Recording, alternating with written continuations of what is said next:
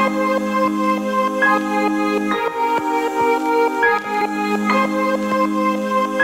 you.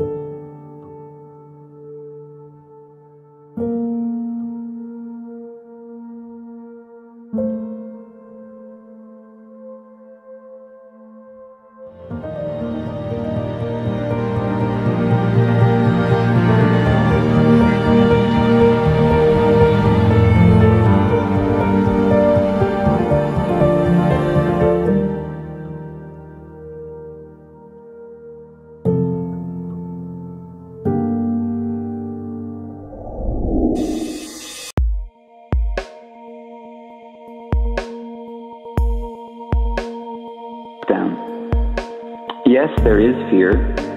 Yes, there is isolation. Yes, there is panic buying. Yes, there is sickness. Yes, there is even death. But they say that in Wuhan, after so many years of noise, you can hear the birds again.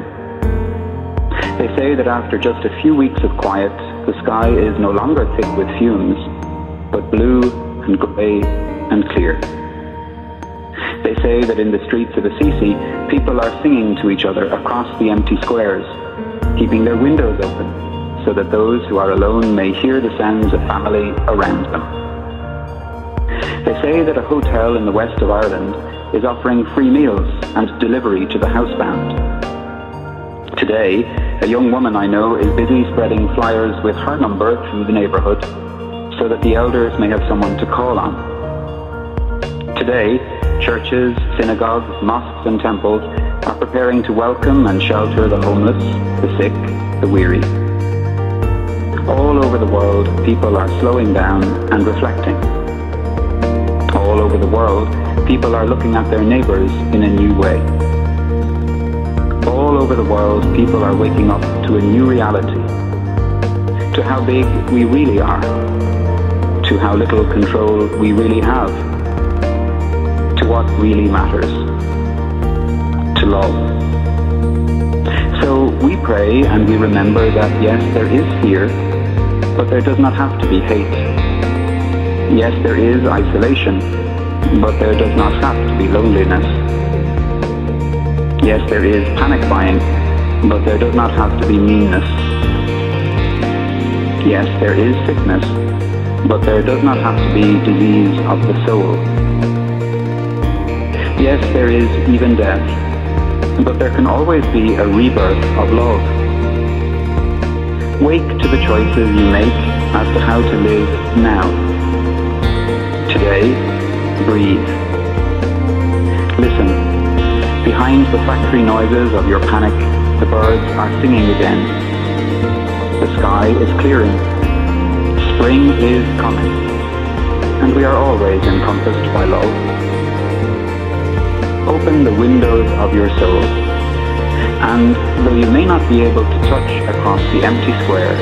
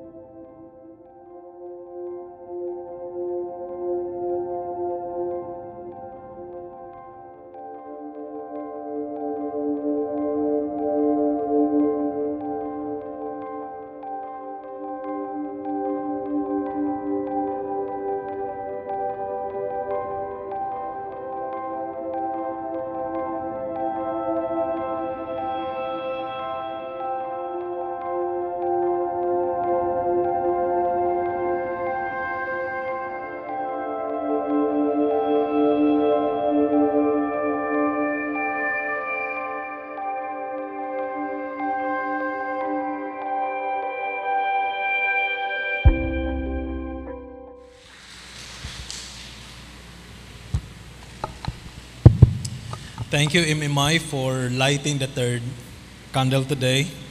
No, the candle of joy, the candle of Mary. Thank you, Eden, for that wonderful song. That is one of my favorite Christmas song. No, Mary, did you know? I really love the message of that song. Merry Christmas! This is the Christmas Sunday because this Sunday is closest to the Christmas day, no? Karon ang consider nato na Christmas Sunday. Kung wala pa'y pandemic, bibo unta ta karon na, no? So, anyway, so let's celebrate Christmas today. But it would be a different celebration because today we will be celebrating Christmas with the Emmanuel. So the main reasons why we have Christmas. So morning at celebrate today. So celebrating Christmas with the Emmanuel. One of the favorite lines or message of the angel to Mary was the message that telling Mary that God is with you. Kana ang pinaka-importante na message no ng angel to Mary, the Lord is with you. And the message the Lord is with you is not just a message to Mary, but it is also a message to all of us.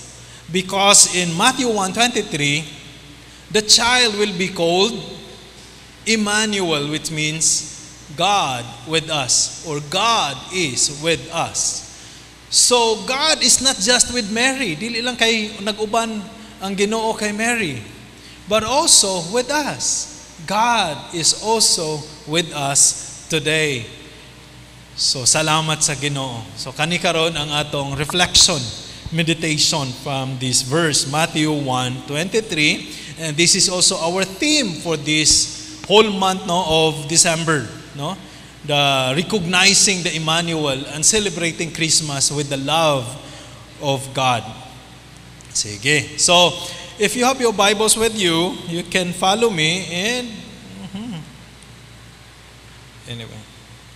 Matthew verse chapter 1 verse 23. Let me read the verse. Behold, the virgin will conceive and give birth to a son, and they shall name him Emmanuel, which translated means God with us. This verse is directly quoted by Matthew from Isaiah chapter 7 verse 14. So gikuha lang ni ni Matthew iyang gi-quote ang writing o ang prophecy ni Isaiah no Isaiah 7:14. So because of this, uh, kay gikuha man ni kay Isaiah, i-click na lang Brad.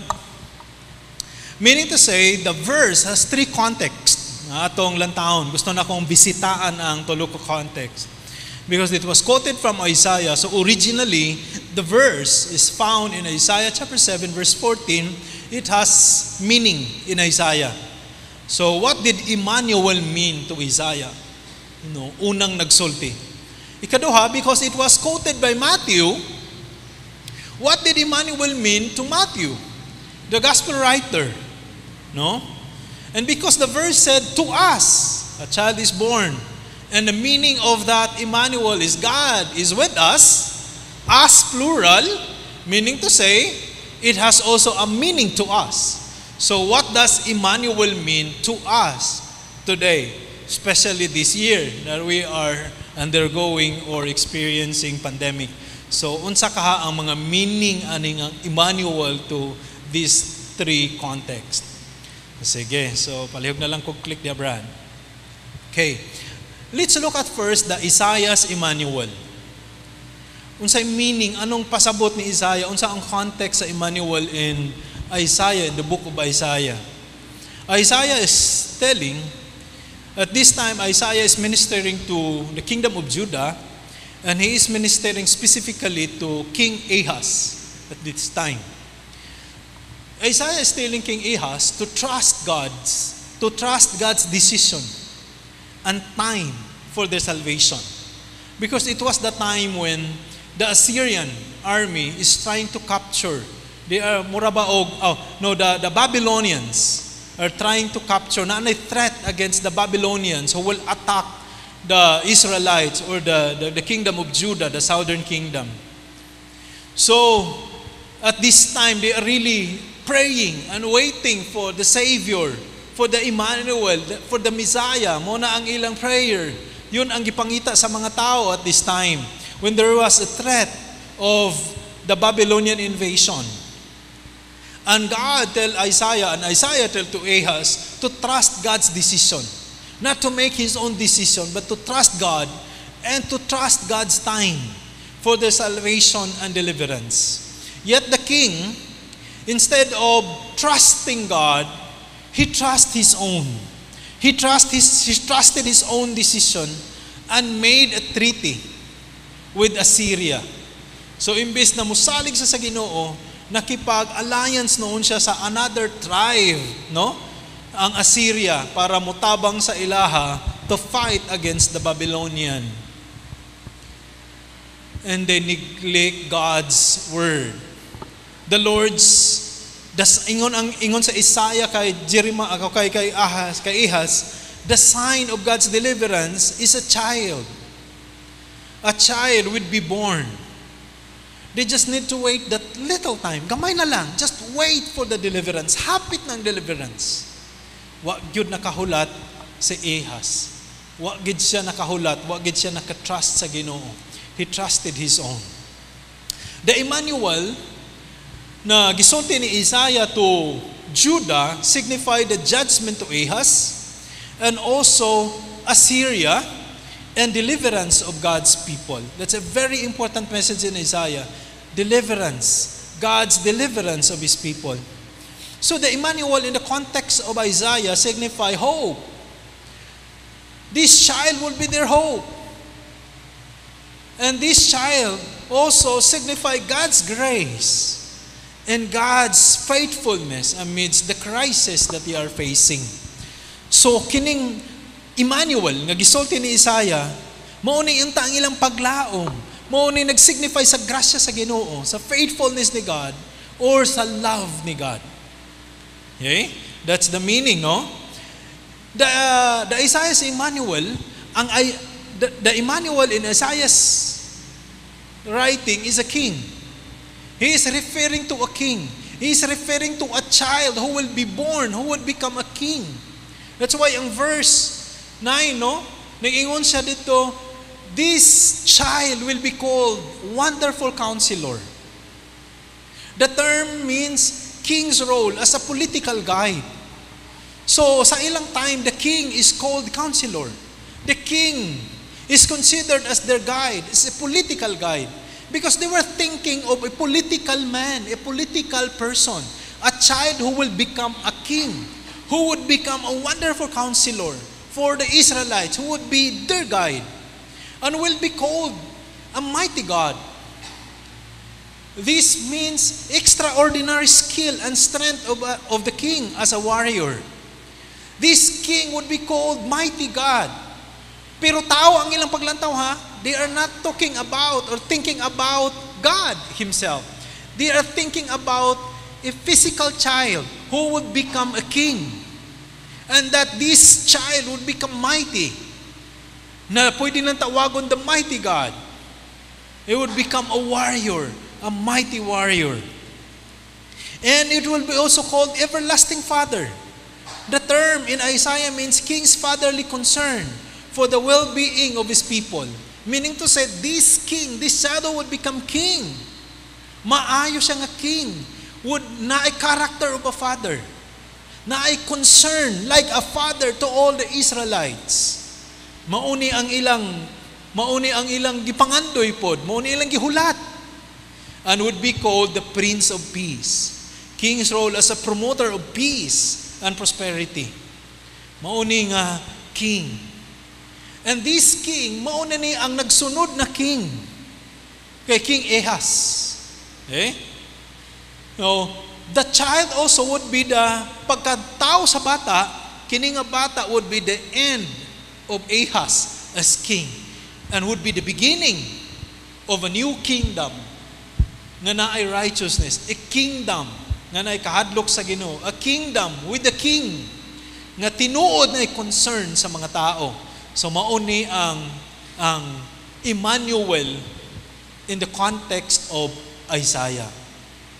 But in the New Testament, since it was quoted by Matthew, and Matthew said that Jesus Christ fulfills the prophecy of Isaiah. Meaning to say, there was another meaning. There was another reading of Isaiah chapter 7 verse 14. Nagkaroon siya ng another meaning. Kasi maura man to ang meaning sa unang panahon, ta, sa time ni Isaiah. But sa time ni Jesus Christ, Isaiah chapter 7 verse 14 found another meaning. That is why it was quoted by Matthew. Ngaming ingon si Matthew, and this will be a sign for us. A virgin, a woman, who will conceive a child. And that child will be called Emmanuel, which means, ang meaning, ingon pa dito sa, sa Nasby, when it is translated means God with us, or God is with us. Emmanuel in Matthew is referring to Jesus Christ Himself. It does not refer to any other child or any other man. It refers directly to Jesus Christ because it was Mary. Gisulti man dito na it was Mary ang nagbuntis.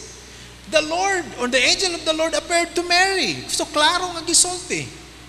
So it refers to Jesus Christ. Jesus is considered a king. And this is a wise and everlasting king. Like the king who is prophesied in Isaiah. He would become a king. That is why the early church or the early believers, including the disciples and the apostles of Jesus Christ, were thinking that Jesus is a political man. That Jesus would become a king, a physical king, who will reign Israel at this time and overthrow the Roman rule, the Roman kingdom, who are influencing Israel at this point of time. Because when Jesus was born, it was the time of the Roman Empire. It was the time of Caesar Augustus at the time. Under sila, na-capture naman ni ang the whole area, no? Sa Palestine and Mesopotamia at that time were under the Roman rule under the Roman Empire. So they were thinking na someone in Israel will become a king and will overthrow the kingdom of Rome. Muna ang ilang paghuna-huna. Pero di na mao si Jesus. That is why, naana po another meaning sa Emmanuel, the third meaning, the Emmanuel to us. Because the, the Emmanuel in Matthew, they were still thinking of a political man, of a political person. Okay? Nya si Jesus, dili man political person. He died. He did not become a king. Nga ilang gi-celebrate like any other nations. And this Emmanuel will be called the Messiah. His another name is Messiah, the anointed one. That is why Matthew said, He is the fulfillment of the Old Testament. Because the Old Testament does not just prophesying Emmanuel, they are also prophesying the Messiah, the anointed one, the Christ, who will become the Savior of the world. Ano? But still, in the context of Matthew, they were still thinking of a political man who will become great, not just in Israel, but also influencing the whole world. And Redeemer. He will become a Redeemer, a Savior. That is why ang name Jesus. Jesus means Savior or God saves. That's the meaning of the name Jesus. He would become a Savior. Again, the context of Matthew were thinking, become Jesus will become a Savior to Israel. They were not thinking of Jesus becoming a Savior to the world and Savior from sin. They were thinking of a Savior from political oppression. But what is our Emmanuel? What is the third meaning? The third reading of the verse. Diba? The first reading was Isaiah 7.14. The context, Isaiah and King Ahaz. And the king after Ahaz. Yun ang fulfillment. Now sa Matthew, it was Jesus, the birth of Jesus Christ. And they are still thinking of a political Jesus Christ. And wala nahitabo ang political Christ. Because the book of Matthew ended with Jesus' death. Namatay. Wala na himong king. Pero dili kamatayon ang ending sa Matthew. But the resurrection of Jesus Christ. Jesus was resurrected and become alive again. Meaning to say, there was another reading. That is why na ikatulong reading of Matthew chapter 1, 23. And the third reading is the reading of the church. Our Emmanuel. That Jesus Christ is our Emmanuel. Who is Jesus as our Emmanuel? The Emmanuel means God was with us literally. So, una ta sa literal na meaning. God was literally with us when Jesus Christ came to earth. It refers to the incarnation. Ang theological term is incarnation. Karon atong gi-celebrate Christmas ang atong term. But the early church, ang ilang term aning nga season is incarnation. We are celebrating the incarnation of Jesus Christ. Incarnation means God become or assume flesh, become flesh from the word carne. No, means flesh, unod. God become flesh. Or God was with us in the flesh. That's the meaning. so we'll celebrate it today as Christmas. Dili gid siya birthday ni Jesus Christ. So let me correct. Because there are some, mingon ang uban na, oh, why the Free Methodist celebrate Christmas? Na dili naman talaga tinuod. Dili naman talaga, wala man gid siya na established that Jesus was born on December.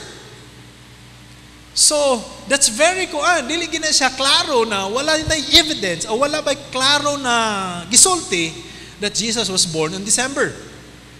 What we celebrate is not the actual birth like our birthday. It's not the date. We celebrate the incarnation. This is the reason of our celebration. We celebrate the incarnation. We celebrate God becoming human. We celebrate those process. We celebrate those mystery. Na Jesus Christ become human. Nahimo siyang tao, di ba? So the incarnation, the Christmas, this is also a demonstration of God's love. The early church, pila ka century, ang pagtanaw nila sa Christmas, sa incarnation, was a demonstration of God's love. That is why Bishop Jim decided na ang theme that we would celebrate this Christmas is celebrating Christmas with God's love. That's really true. That's the message of the early church for many centuries that Christmas is the demonstration of God's love. What is the reason why God, why Jesus become human? Because He loves us. Because He loves you. He loves the world. That's our third reading of Emmanuel. So karon ay na ta that the Emmanuel means literally Jesus become human. Kay giingon po na sa Philippians na He is very God. He is God. God is a spirit. No flesh and blood and bones. Yet He assumed flesh, blood, and bones and become like us. Mauni siya ang unang meaning sa Emmanuel. Okay? Jesus is the only reason for Christmas. That's really true. That is why mauni siya ang tinuod na meaning sa Christmas. Si Jesus Christ. Because we celebrate the incarnation. Jesus is the only reason. Last Sunday, if you follow Bishop Alan, so nang wali Bishop Alan last Sunday sa live stream, na di ba, murag ang atong ingon, this is Christmas, uh, the new normal. Christmas in the new normal. And some said this is the abnormal Christmas. But this, they call the abnormal Christmas, the new normal Christmas, this is the normal Christmas. Ngunit tinuod na Christmas. Nadili lang puro kasadya. Alam mo, uh, last, we, we celebrate Christmas sa LLC last Friday. But very different. Kasi virtual. And we receive a guidelines from DepEd. And one of the guidelines, bawal pati exchange gift. Bisag, dili gid mag-exchange. I-drop lang ang gift dito sa office. Nga kinsay nakakuha ato, pick upon sa nanay, ihatag siyang anak. Bawal yan. Because, according to DepEd, Malay mo kung may virus yung gift. Doon nakadikit. Unya, gikuha, gihatod sa ilang balay. Then you send the virus to the house. So, bawal. Pati Christmas gift. So, nakaana ko huna-huna, bawal ang Christmas gift, bawal manganta kay, na ibagong rule karon bawal talsik laway, ingon nila. Eh, mukanta ta, talsik man laway. Bawal yan. Bawal ng kantahan, bawal video kay. Bawal na gift. Bawal na po mag bawal mang-invite og silingan to your house. Kaya basig nagdala og virus o basig na virus inyong balay, madala sa ilang balay. So bawal na mag-party-party. So unsa na lay di bawal? Sa Christmas, reflecting Jesus Christ. Meditating on the message of the Christmas, the Emmanuel. O di ba, hingbalik kita sa unsay normal, unsay tinuod, unsay insakto. So this Christmas, mauna ni ang the most meaningful Christmas of all. Since our birth. Kaya naanod ba yata sa Christmas no nga, kuan, bibo kaayo. Karon kita-kita ra gyud ay. So mauni ang Christmas na let's celebrate this Christmas with one guest in our house. The Emmanuel. Because he is the reason for Christmas. Nakahuna-huna ko, nanilos na gid siguro ang Ginoo sa ato no. Si Jesus Christ. Kasi for many years we celebrate Christmas. Si Jesus ba na celebrate? o kita ang uh, mas kita ang nag-enjoy. Di ba murag kita ang nag-enjoy no? Enjoy ta sa mga regalo, nag-enjoy ta kinahanglan na litson, nag-enjoy ta sa spaghetti, sa salad, mo mo man ato enjoy no? So muna sa Manila punuan ng Divisoria. Yan, tapaklaran, mall, karon bawal sa mall. Nakaana ko, nanilos na gyud ang Ginoo. Hingabot na gyud sa punto nga wa na ginalipay ang Ginoo sa ato balik na kita sa tinuod na celebration sa Christmas. This Christmas is the most unique. This Christmas is the wonderful Christmas of all time. Amen? Hmm? Ayaw mo pag-ingon na sa TV, meron na ako nabati sa TV kagahapon, masyur to nga, this is the craziest Christmas. This is the saddest Christmas. I don't agree with that. This is the most beautiful Christmas because we will be celebrating the Emmanuel. Amen? Wa na tay choice. Wala na options. Kay naa na nag-ingon ang dipeda bawal ang mga bata. So wa na tay options. Dakpon ta. Mo na kami. O sige, wala. So ang Christmas virtual. Oh. Puro na lang ta picture-picture. Bawal po ta mag-post og picture dito sa Facebook kay basig nganong nag-uban-uban mo mo. So wa. So human namin Christmas sa LLC and it is virtual. Ayan. So, unya ang mga faculty nag kuan pud mi. Kaon-kaon pud mi, pero gamay ra gid kayo. Among gikaon, among gi-order mo ana gyud. Paniudto ra gyud na normal. Hmm. Ya, social distancing. Ana gyud. So lahi ra gyud. So we just spend Christmas celebrating Christmas reflecting in how the Lord was with us beginning sa pandemic until today. And the sharing was so wonderful. Grabe kanindot ang nahitabo hinoon sa among Christmas. God with us means God is right there with you every day of your life if you are truly saved, according to Sean Thomas. I quoted him because I like after the if. Look at the if. Iyon siya, nindot na pilmiro siya, God with us means God is right there with you every day of your life. You say amen. Pero nasa condition, if you are truly saved. Meaning to say, you only experience Emmanuel if you are truly saved. If you are truly saved, then God is there with you every day. In your life, everywhere. Nag-uban siya sa atoa. He become an Emmanuel, tinuod, when we are truly saved. So Jesus is literally in us because we received Him. Naa sa ato, di ba? Na ganitay kanta na, He lives in me. Dako siya pero nagpuyo sa akong kasing-kasing in my heart. So He is here with us. He is in us when we are saved. So Jesus is in me and with you and with me all the time. Mao ni ang atong gi-celebrate. Mao ni ang atong gi-meditate karon na Pasko. God with us. Second, third, God with us. It is an assurance. The term God with us is an assurance. Why is this an assurance? God is with us through the Holy Spirit. Or this is a principle. Because the, the physical Jesus is not with you. Di mo ginato makita ang physical Jesus, di ba? Ang Emmanuel, sa context ni, ni, ni Matthew, is a physical man. Tinuod na tao, nga ilang nakauban. Pero di mo na ito makauban today. This is a principle. This is the truth. This is a reality we celebrate. And this is also an assurance. Kaya nag-ingon siya, the Holy Spirit is there with us. Ang nag-uban nato. God was with His people in the Old Testament, di ba? Kung maingon ta, God is with us. Dito sa kuan, dito lang sa start dito sa Matthew chapter 123. What about before Matthew 123? Wala ba naguban ng Ginoo? Naguban na. God was there from the beginning of the world. God, from the beginning of humanity. God was already there. Gikan sa unang tao sa kalibutan na nang Ginoo naguban. Meaning to say, God was with His people in the Old Testament times. God was there. God was with them in Egypt. God was with them in the wilderness. God was with them in Canaan. God was with them in Babylon. In all situations, God was there.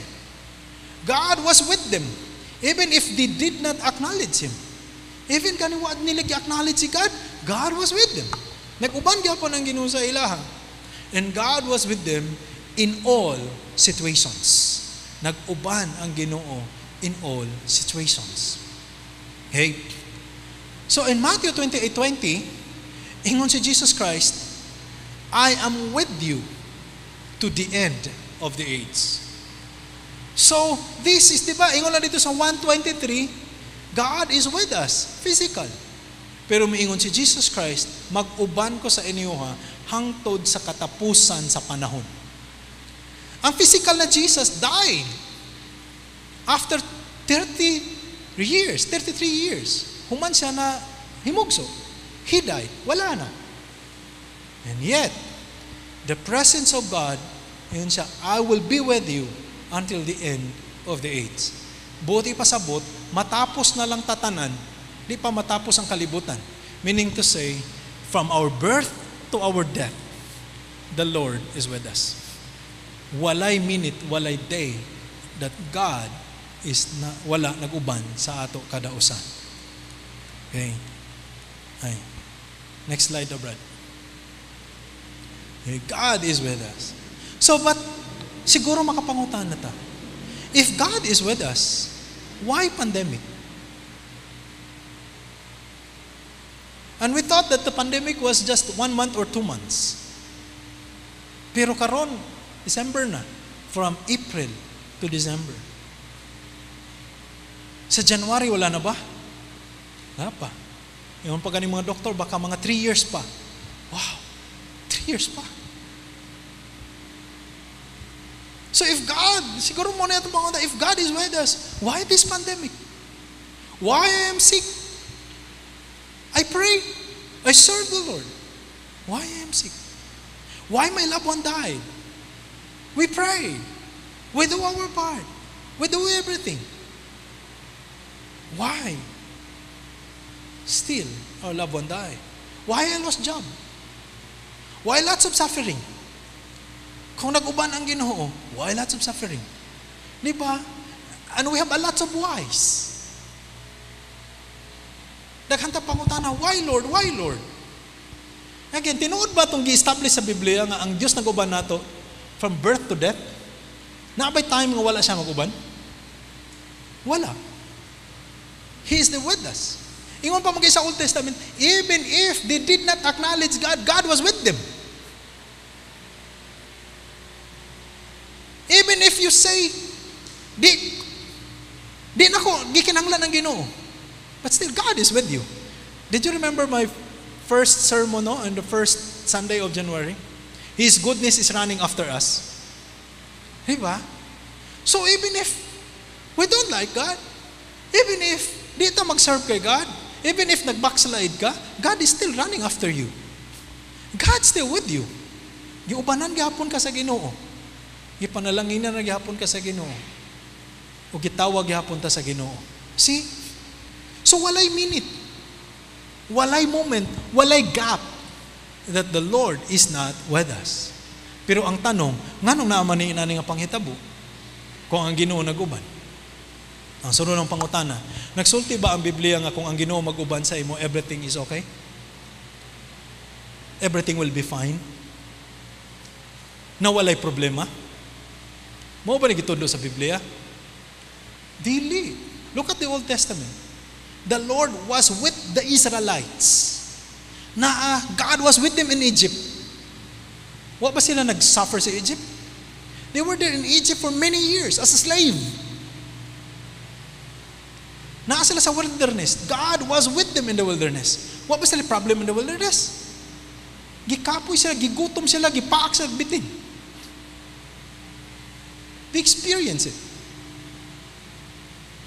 And then experience pa nilang na-capture sila sa Babylon.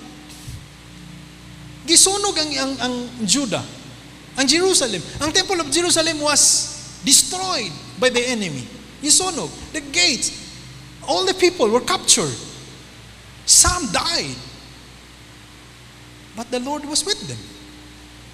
So nga nung naman yung panghitabo, because all of those things, the pandemic, the flood, the earthquake, and disasters, and all other things, the negative is part of the fallen world. Yun ang normal sa fallen world. After Genesis chapter 3, that describes humanity.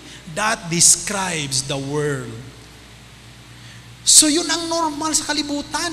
Ang bagyo, ang baha, ang sakit, ang pandemic, kamatayon, suffering, yun ang normal in the world. And since we are in the world, we are not exempted. Even if we are Christian, even if we are strong Christian, we live a holy life. And yet we are not exempted of those things because we are in the world. And that's part of the world. That's the characteristics of the world.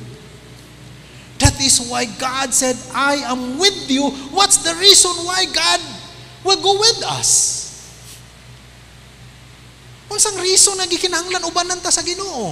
Unsang reason that His goodness will run after us? Kay hayahaya tong life? No, that's not the reason. He is with us because He is our deliverance. Di ba? The, the, the Emmanuel in Isaiah means a deliverance. They're deliverer. And the same context, Matthew, when Matthew said, He is the Emmanuel, he also speaks of deliverance. And today, He is the same. He is our deliverance. Deliverance from what? Deliverance from all oppression, from sin, from darkness, from pain, and all types of enslavement. Jesus is our deliverer. He is our deliverance. His name means salvation. He is our salvation. He is the Messiah. He is the anointed one. He is our salvation. Salvation from what? Again, salvation from sin, salvation from harm, salvation from danger, from salvation from any other thing. And He is our assurance. Assurance nga naa siya nag-uban even during those times. Giubanan ta sa Ginoo. Paano mo nalaman or how can you say God is with you during the pandemic? What are the signs? Now you can say, Oh, God is with me. Remember in the Old Testament, when they say God is with me, God is with us, there is a physical sign. Di ba? In, in the wilderness, the, the clouds is the physical sign that God was with them. The provisions is a sign that God was with them. Pag-cross nila sa Red Sea, di ba? Nahati ang Red Sea. That was a physical sign that God was with them. Itong wali ni Marian, when they crossed the, the flooded Jordan River, that was a sign that God was with them. There is always the physical sign. What about us? What's the sign? Why you can say God is with you even during the pandemic? Or daguban pa ang Ginoo. Do, do you believe that God was with you even during this pandemic? Gikan atong April until today? Okay? Yes? Yes. Kami po, I would say, God is with us. God was with us even during this pandemic.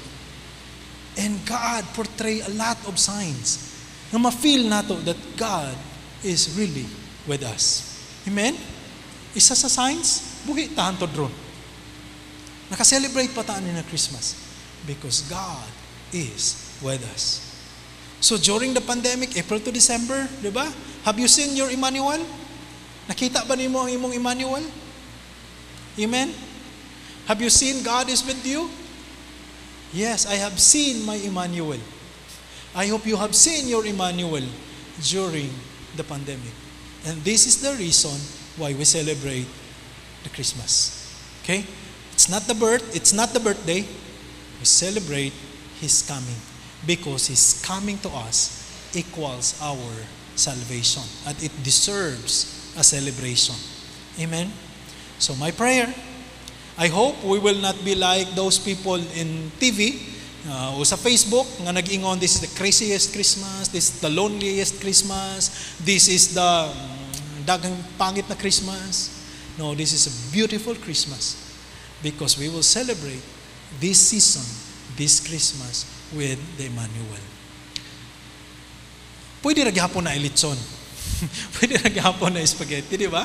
Pwede ra gyapon maghanda, no? Naara gyapon na. But the main reason why we celebrate is because of the Emmanuel. God is with us. Amen? Manindog ta. And let's thank the Lord.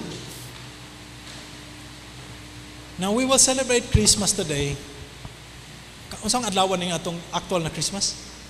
Wednesday, Huwebes, no? Oh, uh, so Wednesday, Wednesday sa gabi eh. Ang atong Ah, Thursday? Oh, na, nakalimutan ko sa kalendaryo. Pasensya na. So, let's celebrate that day reflecting the message of God. Last Friday, ang among gi-celebrate sa LLC with the question, kini Have you seen your Emmanuel? How? How did you see your Emmanuel? It's a good sharing time. And you can use that question during, as you celebrate, diha sa inyong panimalay. Just ask everyone, have you seen your Emmanuel? How did you see your Emmanuel? How did He reveals to you na nag-uban siya sa imuha during this time? And together in the family, thank the Lord because He is there with us. Let us pray, Father. We just thank you, God, for sending your Son, Jesus Christ, for us. We celebrate Christmas. We celebrate Lord today, our Emmanuel. You are with us. I would just thank you, Lord, that you never, never leave us. Wala gid ka ginuming biya na mo, Lord. Bisan ay mga panahon that we thought nga gibiyaan mi nimo. But the reality, your word said, I am with you wherever you go. Every moment of our lives, naguban ka, Lord. And that's the reason why we celebrate the Christmas. And we just thank you, Father, because we receive already our gift the gift of life, the gift of eternal life, our salvation is a wonderful gift we receive from you. That gift is priceless. We cannot pay it. We thank you, God, for giving it to us for free. And we enjoy it. And because we are saved, then we can say also that the Lord is with me, is with us every moment of our lives. Lord, we experienced the pandemic. We experience sickness. We experience death of loved ones. We experience flood, earthquake. We lost the thing. We lost opportunities. And many other things, Lord, nga nawala sa amuha. But salamat, Lord, one thing we did not lost. One thing nga wa nawala sa amo, Lord, na nagpabilin sa amuha is your presence. And we thank you and we celebrate, Lord, that we never, never lost your presence. We never lost your love. We never lost your goodness. We never lost your mercy. Because they are running after us every day. Daghan kayong salamat, Lord. And that's what we celebrate. Your goodness, your love, your loving kindness, your faithfulness. Nga among nasinati niini nga panahon. We thank you and we praise you. And give us opportunity also, Lord, to extend such love to others this season. Especially those people who feel so sad, who feel so down, who feels they are being neglected. Help us to reach out, to share something, to share what we have, so that they will also experience and see the Emmanuel nga among nakita o among nasinati. Salamat, Lord, sa oportunidad nga among gihatag ka namo. Bless us all. Bless us, Father, our family, our loved ones. Bless this church. Bless all of us. All this we ask and pray in the matchless name of our Lord and Savior Jesus Christ. All of us will say, Amen.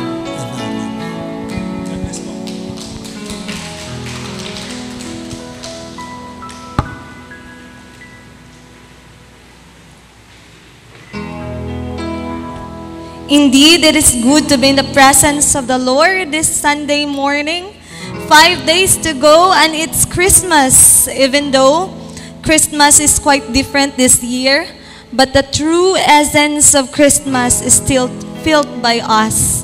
For His love overflows, and He is always with us. Ingna imong katapad, Merry Christmas! Kay Merry gihapon ang Christmas sa mga anak sa Ginoo. Thank you everyone for worshiping with us today. For those who have come for the first time and sa mga nagbalik na og simba, thank you for spending your Sunday with us. We hope that we can see you the next Sundays to come. And my prayer is that everyone is filled by God's love this Sunday morning. Thank you also, MMI, for lighting the Advent Candle of Joy.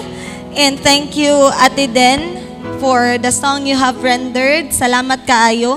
And for our announcements, encouraging everyone to join our Sunday school classes after our first service, 8.45 to 9.45 a.m.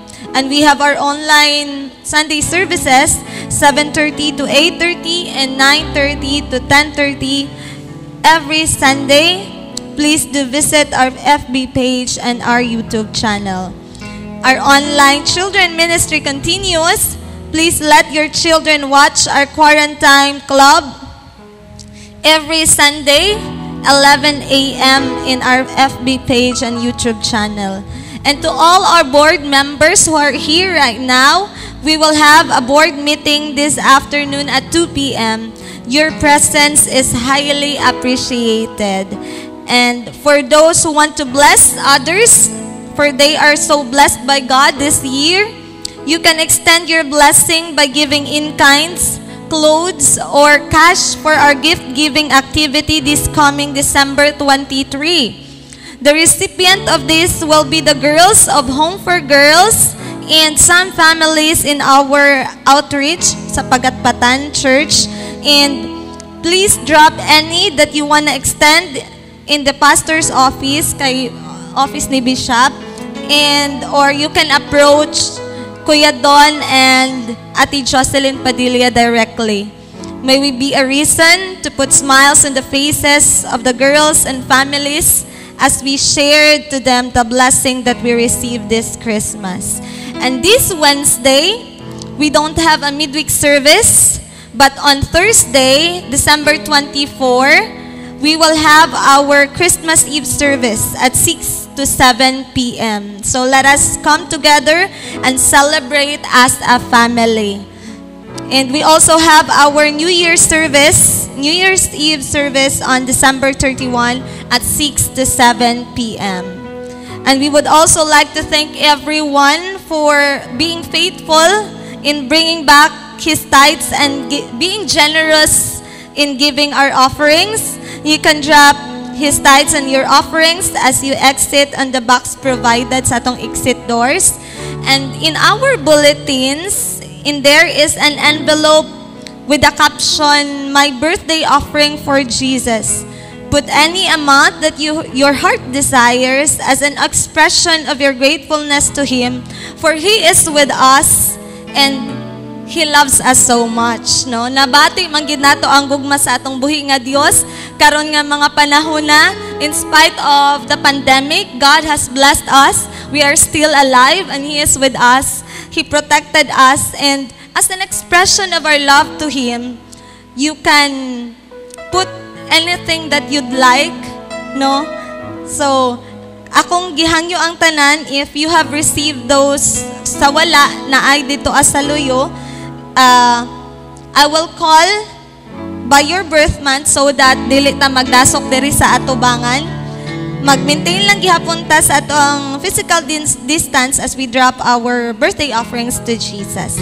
So as we start, may we call on sa tanan nag-birthday og January if na ay mga nag-birthday og January diri the boxes sa ato ang Thanksgiving uh, birthday offering to Jesus is naa diri sa front na ay upat para di lang ta mag magkadasok and kung walay January ato ta sa mga Pebrero dihang dapita if na ay mga nag-birthday og Pebrero no you can drop any amount that you'd like. And sa mga March, sa mga nag-birthday og March, I know that the Lord has been so good to us. And sa April, mga nag-birthday og April,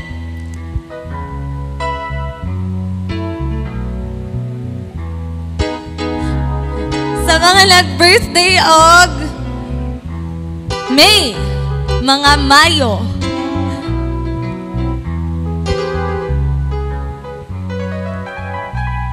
Mga June babies, kung naaman diri ah, no?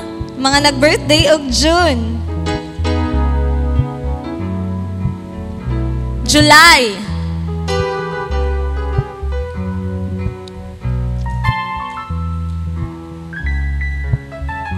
August.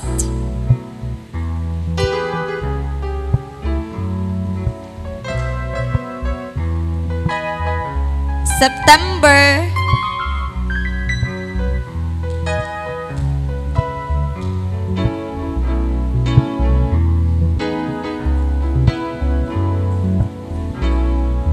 Sa mga nag-birthday og Oktubre dihang dapita,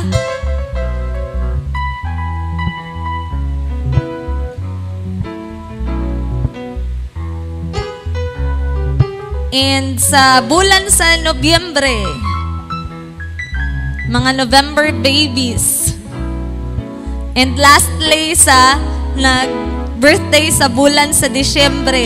Labi na siguro tong nag-birthday gid sa December 25, no? Salamat sa Ginoo sa inyuhang mga kinabuhi and I know that God will continue to bless us and God will continue to be with us even in times like this and the following days of our life. May God bless us all.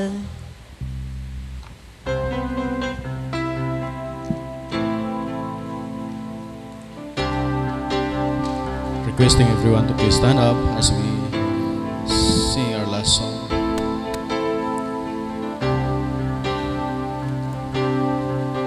Inaday mo tapad ba nga God is with us? God is with you. God is with us. Amen.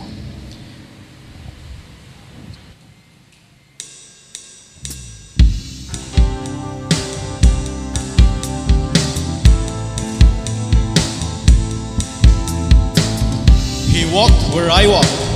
Amen. He felt what I feel. He walked where I walk. Stood where I stand. He stood where I stand. He felt what I feel. He felt what I feel. He understands. He knows my frailty. He knows my frailty. Shared my humanity. Shared my humanity. Tempted in every way. Tempted in every way. Yet without sin.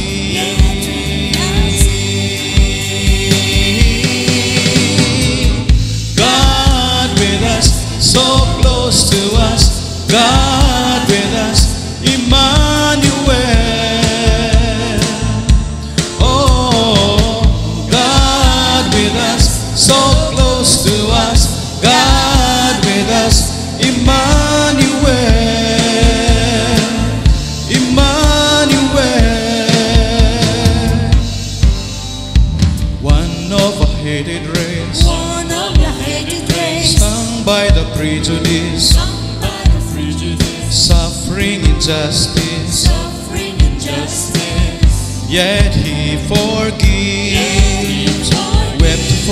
wasted years, For my wasted years. He paid for my wickedness.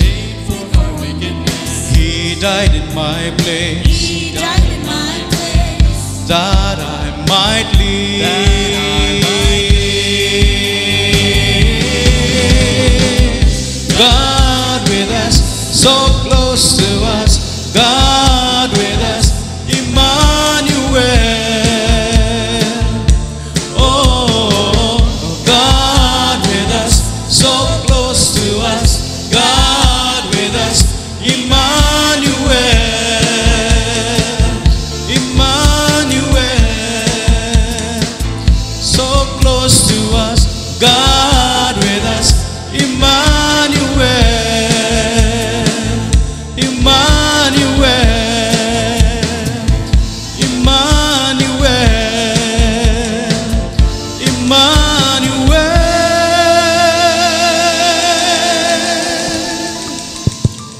Thank you, God. Your name is Emmanuel.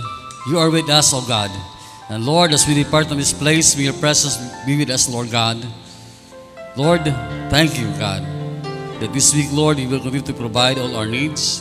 And bless those people, O God, nga mga-travel. Thank you, Lord, for the safety, O God, nga maghatag ka namo, Lord. And next Sunday, Lord God, pabalika kami, Lord, in the church. With a joyful hearts, O God, to honor you, to worship you. And again, Father God, thank you for your presence in our worship today. Let us receive our benediction. The Lord bless you and keep you. The Lord make his face shine upon you and be gracious unto you. The Lord lift up his countenance upon you and give you peace. In the name of the Father and of the Son Jesus Christ and of the Holy Spirit.